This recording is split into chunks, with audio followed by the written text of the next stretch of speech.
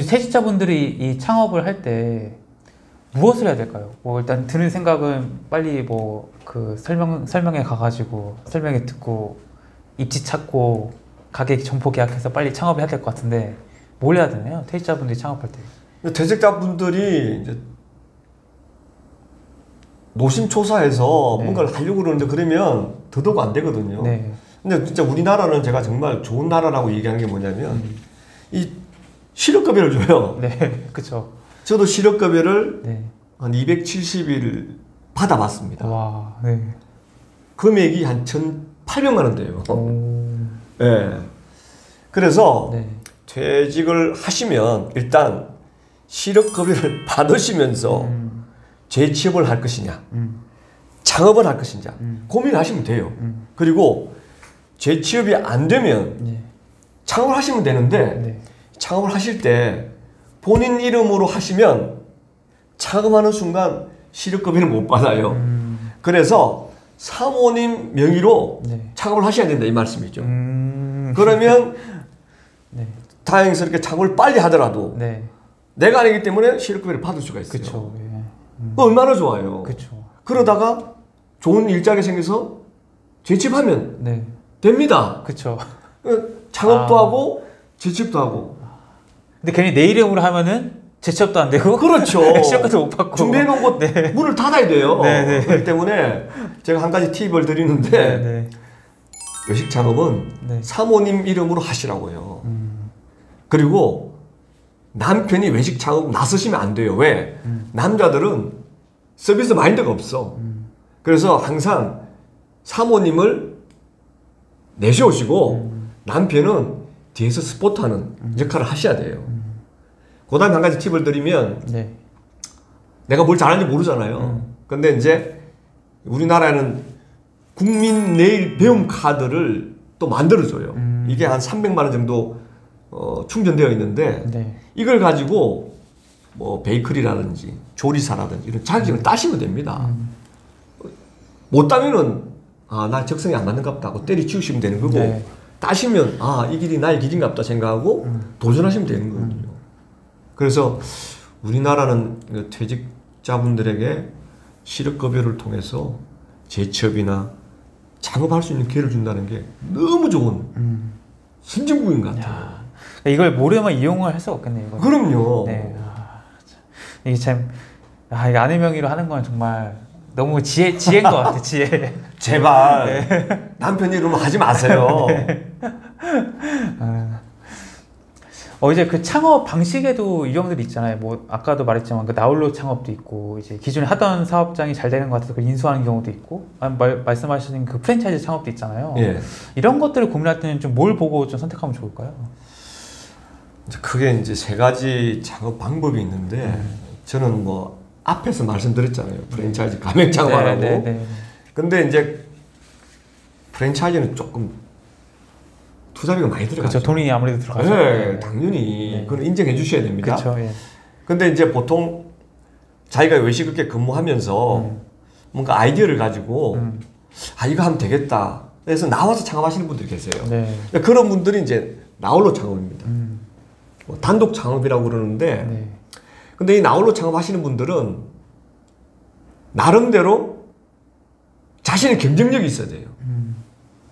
음. 대기업과 싸워서 이길 수 있어야 돼요. 네. 대기업 프랜차이즈. 음. 그러려면 뭔가 메뉴가 뭔가 좀 차별화되어 있어야 되겠죠. 네. 그리고 뭔가 독창적인 면이 있어야 되겠죠. 음. 뭐 인테리어가 독창적일 수도 있고 네. 메뉴가 독창적일 수도 있고 서비스가 옛날 TGI처럼 뭐 무릎 꿇고 받는 이런 네. 독창적일 수도 있든 뭔가 독창적이야만 고객이 오잖아요. 음. 그런데 이제 가장 큰 문제점이 뭐냐면 메뉴를 계속 업그레이드 시켜줘야 되는데 음. 이 혼자서 다 하다 보니까 시간이 없구나. 이게 개. 한계에 부딪히는 경우가 많아요. 그래서 대부분 이제 셰프 출신 분들이 이제 독창적으로 자기 메뉴를 가지고 브랜딩 하잖아요. 네. 근데 성공하신 분들이 있는가 하면 네. 실패하는 분들도 많죠. 거의 없- 거의 대부분이죠. 예. 왜 그러냐? 네. 본업에 충실하지 않거든요. 음. 딴 데다가 이제 눈을 파는 거죠. 음. 뭐 인기를 얻기 위해서 뭐 이렇게 방송 출연도 많이 하고 네. 유튜브 출연도 많이 하고 음. 그리고 돈이 좀 벌리니까 제2의 또 점포도 내고 음. 근데 본인만큼 이 관리를 할 수 있을까요? 못하죠. 그래서 실패하는 경우가 많거든요. 그 다음 이제 인수 창업은 본인이 일하는 가게의 점주분이 뭐 어떤 연유로 인해서 그만둘, 그만 두시겠다고 할 때 이제 인수하는 경우도 있고 네네. 아니면 내가 이제 이 업종이 잘하기 때문에 이제 찾다 보면 이제 그런 업종을 음. 점포 내놓은 데가 있잖아요. 이제 그럴 때 이제 인수하는 게 이제 인수 창업입니다. 음. 근데 인수 창업은 조심해야 될 게 뭐냐면 네. 내가 근무하는 점포를 인수하는 건 내가 잘하기 때문에 괜찮아요. 음. 근데 남이 하던 걸 인수할 경우에는 네. 이 사람이 왜, 나, 왜 이 점포를 내놓았는지를 정말 조사를 많이 해봐야 돼요. 음, 음, 그리고 이 점포에 대한 이미지가 어떻는지 음.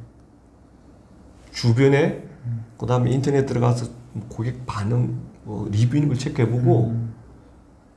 그래도 자신이 있으면 음. 하시는데 만약에 그렇지 않으면 인수 작업 안 하는 게 더 좋을 수도 있어요. 음.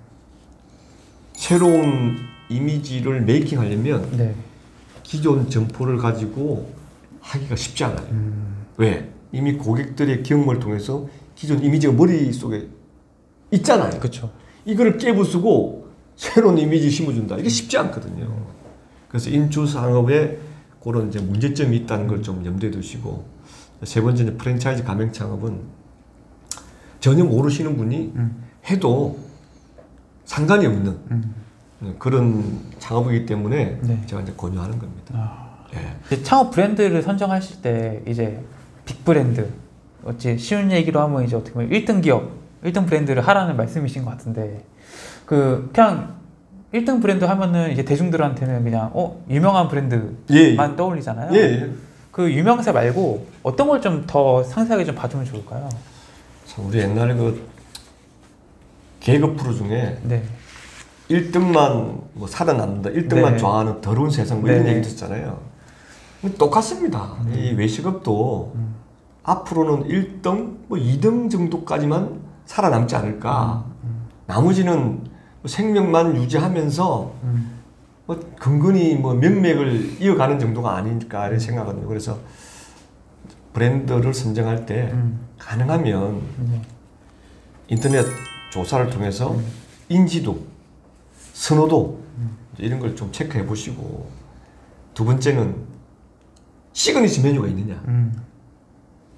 이제 하도 이제 뭐 카피력이 뛰어나기 때문에 네.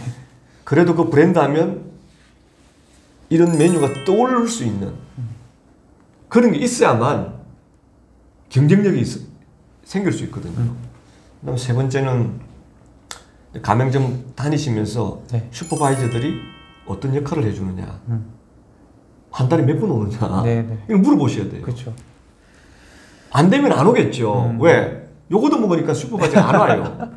피하는군요. 잘 되면 슈퍼바이저 자주 네. 오겠죠. 왜? 잘 되니까 뭐 그렇죠. 예, 커피라도 한잔 주지 예, 않겠어요? 예, 그쵸, 그. 슈퍼바이저에 이제 방문한 횟수라든지 오. 예, 그런 네. 거 체크해 보시고 네. 하시면은 좋지 않을까 아, 이렇게 생각이 됩니다. 야, 그 슈퍼바이저의 횟수를 체크하는 거는 정말 좋은 생각이네요. 제가 네. 아, 어떤 브랜드를 담당했을 때 네. 가맹점주분을 만나러 가요. 음. 슈퍼바이저를 본 게 음. 1년이 넘은 것 같다. 이런 아, 얘기를 그래요? 하는 거예요. 네. 예. 왜 그러냐? 네. 물론 이제 직원 수도 작을 수도 있겠지만 음. 음. 가면 음. 요거도 먹잖아. 그쵸. 그러니까 가기 싫은 거야. 네. 그런 측면에서 보시면 됩니다. 아, 그럼 몇 번 정도 오는 게 좀 많이 오는 건가요? 보통 이제 우리 슈퍼바이저 분들이 점포 네. 한번 10개 네. 정도를 이제 관리를 해요. 음. 그러면 한 달에 몇 번 정도 가겠습니까? 최소한 뭐 한 한 번? 번에서 네, 두두번 번? 이상은 네, 가겠죠. 네. 그 대신 또 전화는 또 뭐 많이 하지 네. 않겠습니까? 네. 네. 예, 근데 이거를 뭐 점포를 뭐 30개씩 주면 관리 못 하죠. 음. 슈퍼바이저의 역할이 뭐냐면 네. 가맹점주분들이 음. 투자를 했잖아요. 네. 그러면 돈을 벌게 해줘야 되잖아요. 그쵸. 돈 벌게 해줘야죠. 그 역할을 하는 게 슈퍼바이저예요. 음. 돈을 벌게 해주려면 어떻게 되겠습니까? 그거 가서 살아야 되겠죠. 그쵸, 주문 환경이 어떻고 네, 네. 오는 고객이 어떻고 시간대별 매출이 어떻고 네. 그다음에 경쟁사는 뭐 어떤 거 있기 때문에 우리는 뭐 어떻게 추천해주고 뭐 어떤 프로모션을 하든지 이렇게 해야 이게 또 돈을 버는 거죠. 음. 근데 안 가고 어떻게? 자주 가야만 돈을 벌죠. 그렇죠. 그래서 슈퍼바이저 역할이 네. 프랜차이즈에서는 제일 중요합니다. 음.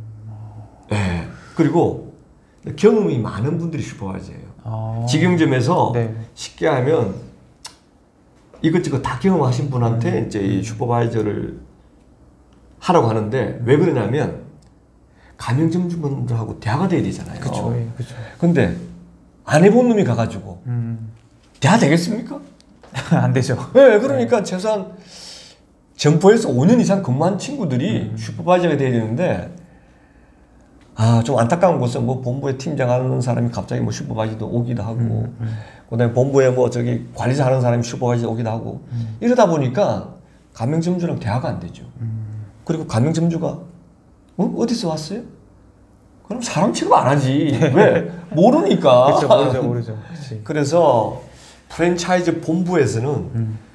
제발 슈퍼바이저의 음. 역할을 하는 사람들에게 교육을 많이 시키고 음.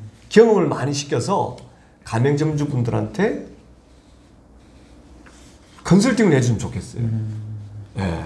그래야만 그 브랜드가 네. 잘 나갈 수 있죠. 어. 예. 그러니까 슈퍼바이저가 어떻게 보면 통로네요. 이게 본사와 이제 가맹점주 간. 통로이면서 네. 그 점포를 활성화시키는 음. 아주 중요한 직원입니다. 네. 예. 이제 그 프랜차이즈에 대해서 워낙 이제 뭐 문제가 많이 생기니까 정부에서 이제 정보 공개서를 그렇죠. 만들도록 하고 예, 볼수 있게 예, 해놨잖아요. 이 프랜차이즈 정보 공개서를 보면은 무엇을 알 수 있나요?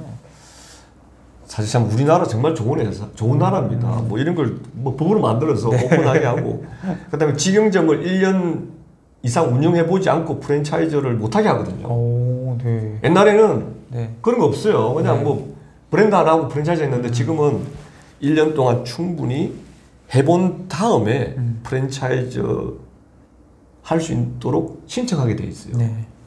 그래야만 이 망하지 않고 운영하는 노하우를 축적했다고 생각하는 거잖아요. 그렇죠. 사실 이제 이 정보 공개서는 뭐 여러분도 아시다시피 그 프랜차이즈 본사와 음. 브랜드에 관한 모든 내용을 음. 함축적으로 기술한 자료입니다. 여기에는 가맹 사업 현황이 나타나 있어요. 뭐 네. 브랜드 역사뿐만 아니라 직영점의 점포 수, 음. 가맹점의 점포 수, 그리고 매출도 나와 있습니다. 네. 거기다가 최근 3년간 신규 오픈한 점포 수, 음. 그 다음에 계약 해지, 해지한 점포 수, 음. 명의 변경한 점포 수 나와 있어요. 자, 여기서 신규 개점한 수가 많다는 얘기는 무, 무엇을 의미하냐? 그만큼 브랜드가 잘 된다는 얘기겠죠. 네. 반대로 계약 해지 점포 수가 많으면 무슨 의미겠어요?